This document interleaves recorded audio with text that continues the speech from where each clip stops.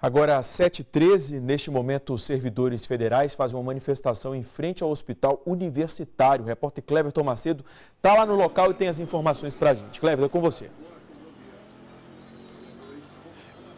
Exatamente, Lidevan. Eu estava aqui bem pertinho na colina do bairro Santo Antônio. Quando tentei acessar a rua Cláudio Batista, me deparei com esse trânsito intenso aqui, de um lado como do outro. Vamos mostrar aqui do outro lado aqui é em direção ao centro da cidade. Então, quem vem de lá do centro, em direção ao bairro Santo Antônio, se depara com essa situação. Inclusive, tem agentes de trânsito aqui tentando orientar os motoristas. Nós vamos agora aqui para a porta do Hospital Universitário. Olha só a quantidade de carros parados, são manifestantes, são funcionários, na verdade, do Hospital Universitário. Vou tentar passar por aqui, hein? Tentar passar por aqui, por esse lado aqui, para a gente poder ter acesso a entrada aqui do Hospital Universitário, a gente percebe aqui é muitos servidores, são cerca de 450 servidores que estão aqui ó, todos com essa camisa.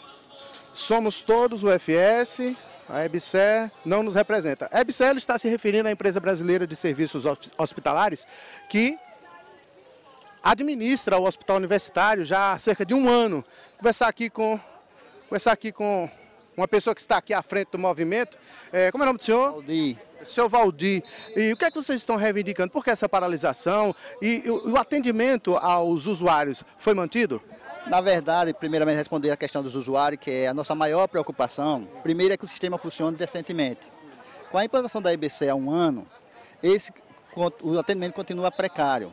Cirurgias são canceladas, somente cirurgia de menor complexidade que são feitas, faltam suprimentos para fazer curativos, falta suprimento para dar manutenção e que o hospital funcione. Então, em respeito ao usuário, essa, essa, essa paralisação aqui é somente para barrar a entrada de veículos, mas todos os profissionais, seja da área de saúde ou seja da área de apoio, têm livre acesso ao hospital. Então eu quero aproveitar a oportunidade da audiência do programa para dizer que podem se dirigir ao hospital. Agora a pé, não é? A pé. Tá ok, muito obrigado. Então olha aí, você pode entrar a pé, agora tem que deixar o carro do lado de fora. Está um transtorno aqui no bairro Santo Antônio.